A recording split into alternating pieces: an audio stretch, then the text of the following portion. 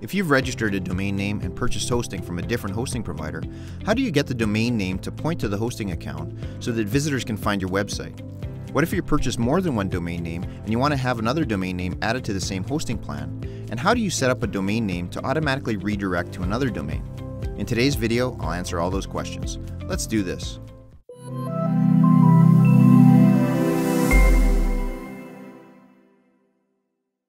Okay, welcome to video 5, how to point your Namecheap domain name to your HostGator hosting plan. I'm Kevin Stryker with Tru Lift Digital Marketing, and this video is part of a video series titled How to Easily Create a Web Presence for Your Business, even if you have zero technical skills. So in video 2, you register your domain name with Namecheap, and in video 3, you set up your hosting account with HostGator. Then in the last video, video 4, you walk through HostGator's customer portal and cPanel to get a better understanding of how the two hosting plan sections work. Now that we have your domain name and hosting all set up, you won't get anywhere if you don't have the two of them connected to each other. Let me show you what I mean. Picking up from where we left off in the last video, if I go to truliftdigital.com right now, even though I have the domain name and hosting set up, this is what I get. This page is not my website yet, obviously, it's just a placeholder. Essentially a place saying, hey, this page is registered with Namecheap and someone intends on using it, but basically isn't yet we need to go to Namecheap and point your domain name, in my case, truliftdigital.com, to the hosting for truliftdigital.com. As you know, or at least if you watched the previous videos in this video series, you are aware that I also registered a second domain name of truliftdigitalmarketing.com. So let's check that out. If I put that in my browser, truliftdigitalmarketing.com, basically the same thing, just a placeholder. Let's change that. If you are not still logged into Namecheap from a few videos ago, you will have to log in. Go to namecheap.com. Hopefully you have your username and password someplace handy. If you downloaded the password tracker from previous videos, your username and password can be found at the top in the Namecheap section under, you guessed it, username and password. And if you don't have a password tracker yet and want one, either click on the link in the top right of your screen if it is visible, or you can find a link in the description area of this video where you can download yours now for free. It's an easy way to keep all of your website and social usernames, passwords, URLs, pins, handles, etc. in one easy place. Just hover over Sign In and input your username in the appropriate place and your password and click Sign In. You are now in your dashboard by default, and you can see, in my case, the two domain names that I registered on this account. I'm just going to go beside truliftdigital.com since it's the main domain that I want to use and click Manage. And then on this domain's details page, I'm just going to scroll down to the name servers section, and beside Namecheap Basic DNS, I'm just going to click the drop down arrow, and I'm going to go to and select Custom DNS, which stands for Domain Name Servers. Now here it is going to ask me for my two name servers, name server 1 and 2, and if you remember from earlier videos, there are three places that we can get those. The quickest way, if you are using the password tracker, is to go there and copy them into your clipboard one by one, they can be found in the HostGator cPanel section beside first and second name server. The second way is to go back to the second email from HostGator that you should have received when you signed up for the HostGator plan, titled hostgator.com colon your account info, and the two name servers can be found here. It should be something like ns and then four numbers .hostgator.com. You will notice that those two numbers should be sequential, with one number higher than the second one. I'm just going to highlight the first name server and then copy it by either pressing Command C in Mac or Control C in Windows, which will save that name server to your clipboard. I'm going to also show you or remind you of the third spot you can get those name servers, just in case you forgot or haven't watched the previous videos in this series yet. If you remember, if you are logged in directly to the cPanel, click on the Services Info tab on the left-hand side of the screen, and then on the right side under DNS Info, you have your first and second name servers, or primary and secondary. I've already got my first one copied in my clipboard, but if you don't, you can copy the first one here, and remember they go up sequentially in order, at least they always have for me. I guess you should confirm that with your numbers. And then go back to the open tab that you have for Namecheap, and then paste nameserver1 on the first line, and then as a shortcut since the two numbers are sequential, just paste the same number on the second line for nameserver2, but just change the one number that is different. Then click the green check mark to save those name servers, and there you go. That's all it takes to point your domain name from Namecheap to your HostGator hosting account. You'll notice it can take up to 48 hours for the domain name to actually point to your hosting, so you may have to be patient. It usually doesn't take that long, but it definitely can. I'm just going to close that. Since I also have that second domain name registered, before logging out of my Namecheap account, I'm just going to go back to the dashboard and I'm going to do the same thing for TruLiftDigitalMarketing.com. I'll click Manage beside that domain, scroll down to Name Servers, click the drop down and select Custom DNS. And since I am pointing it to the same hosting account, I will just paste in the same two name servers that I did for TruLiftDigital.com. It will still be my clipboard, so I'll just paste the first name server into the first spot, Command V or Control V, and then paste in the same one in the second spot and change that number over. And then click the green check mark to save. And there you go, got them both done. Now if you only have one domain name, then you only need to do this step once for that domain. I'll scroll to the top for a sec and close that.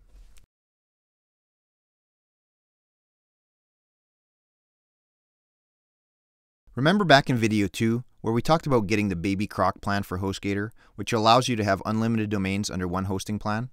Well, since in my case I do have two domains that I want to have under the same hosting plan, I need to add that second domain to my hosting account. If you recall, in setting up hosting in video 3, I already set up hosting for TruLiftDigital.com. Now I want to set it up for TruLiftDigitalMarketing.com. So I'll just go back to the HostGator customer portal, I still have it open in this tab, HostGator billing slash support, and I'm still logged in here. I've got the hosting tab open and I'm currently in the hosting dashboard section. I'll just scroll down to the most popular links section here to show you that I can access what I'm after here by clicking on add-on domains in the most popular links. But since this area can change if you don't frequently use these icons, I'll show you another place to access what we are after. Just scroll up to the top bar and get to add-on domains by clicking on domains and then scrolling down and clicking on add-on domains here. It's going to open up a new tab in the cPanel.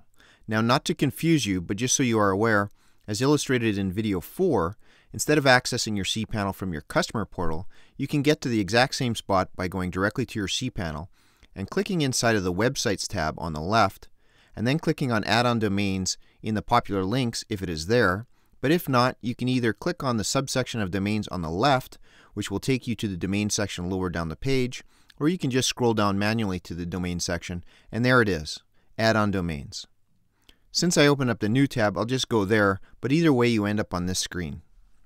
So for the new domain name, I'm just going to type the name of my second domain, truliftdigitalmarketing.com, and you'll notice when I'm done with that field and click on the next, it automatically populates the next two fields for subdomain and document root.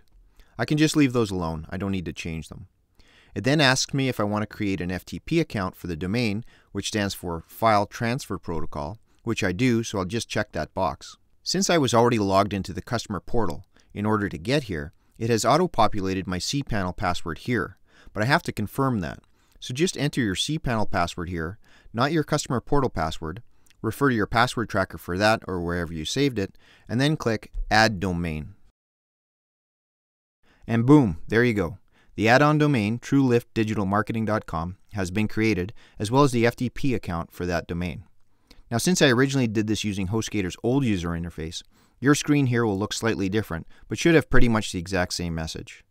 So now you know, if you ever have another domain that you want hosted, you don't need to get another HostGator hosting account. You can just add it to the current account that you have, provided you have at least the shared plan, in this case, the baby plan. Okay, so that's it for this step. Now, if you watched the previous videos in the series, you'll know that the reason I registered TruLiftDigitalMarketing.com in the first place is not to have a separate site. I registered it so that if the branding of my business starts to get some traction and people are remembering the name of my business, Tru Lift Digital Marketing, but aren't going to my preferred URL of truliftdigital.com, but rather to the longer truliftdigitalmarketing.com, that they still find my site. To do that, I need to redirect truliftdigitalmarketing.com to truliftdigital.com.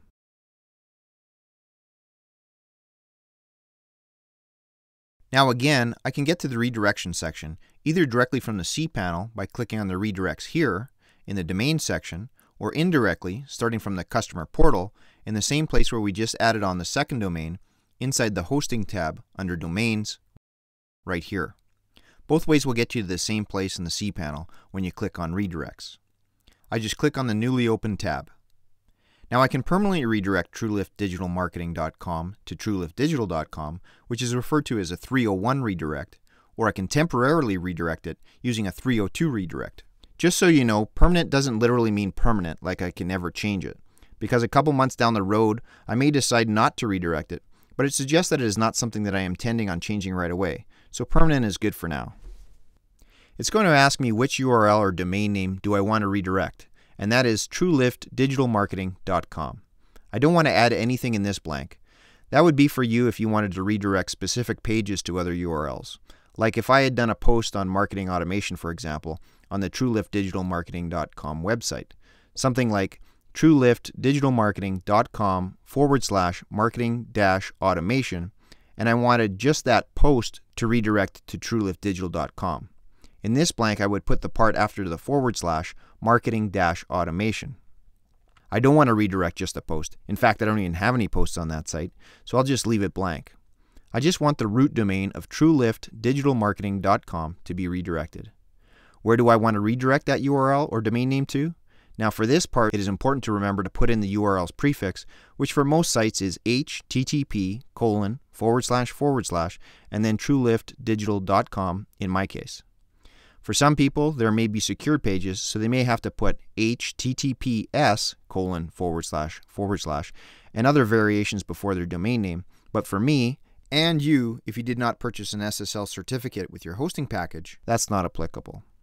As a bit of a side note, if you are not sure if your website has an HTTP colon forward slash forward slash prefix, simply enter your URL in your browser and hit enter, which, if you've been following along this video series, will either take you to the Namecheap placeholder or perhaps the HostGator placeholder page if your domain name has been transferred. Highlight your URL, mine here is truliftdigital.com, and copy it, either Control C or Command C, and then just paste it somewhere like maybe a Word document or on a spreadsheet, Command V or Control V. When you paste it, if it says http colon forward slash forward slash mysite.com or whatever your domain name is, then you have just confirmed that it has a http colon forward slash forward slash prefix. Now it is asking me if I only want redirection if my site contains www in front or only if it does not. I'm going to select the middle option to redirect whether it contains www or not. For me, and likely for you, this is the option that you would choose. And then lastly, it gives you the option of a wildcard redirect.